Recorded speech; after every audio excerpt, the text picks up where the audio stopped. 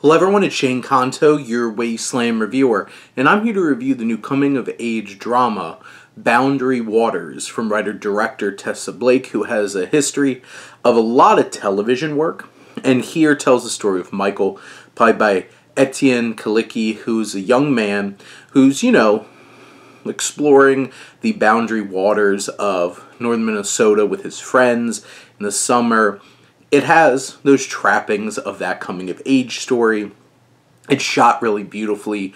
You see how nature just comes to life on screen here, and really, Michael shouldn't be worrying about anything else.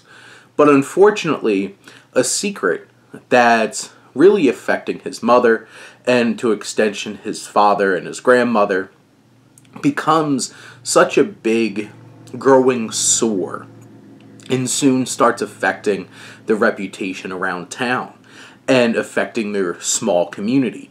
Which, because one of the things that I feel like Blake and her co writer Jennifer Manocherian, based off of the novel by Lisa O'Donnell, are able to do is capture that small town kind of environment and culture where, you know, the littlest thing can start growing into a pretty big thing.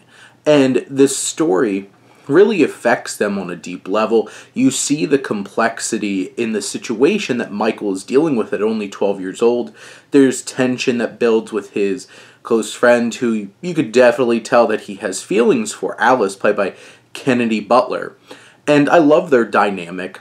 I do feel like some of the dialogue in this for some of the young people sounds a little like, hey, we're trying to preach at you, sounds a little too like, hey, they sound like adults talking through 12 year old bodies. But the message is still impactful, the message is still poignant.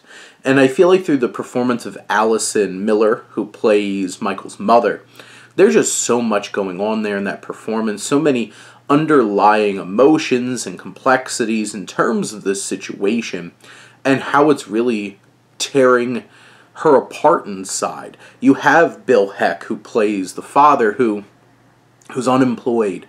From the outside looking in seems like he's a, not a great man and you worry about what he's capable of. But there's complexities to him too and Carol Kane who plays Granny in this Love her. She's fantastic. It's just those performances from to a pretty far extent the young actors in this film were saddled with some heavy topics to be able to navigate, but also the likes of Miller and Kane add so many layers to this story.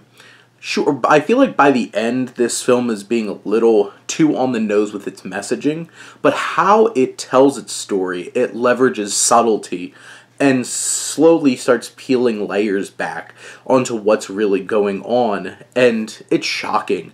It's emotional. There's some really key moments in this film that hit with that emotion in such an impactful way. And this is a moving and poignant film with a great coming of age story at the center with ripples of bigger and broader themes that come together to make this a pretty rich experience and a pretty impressive effort from Tessa Blake. But those are my thoughts on Boundary Waters. Let me know what you think and let's talk some movies. But thank you as always for tuning in and supporting your Wasteland Reviewer.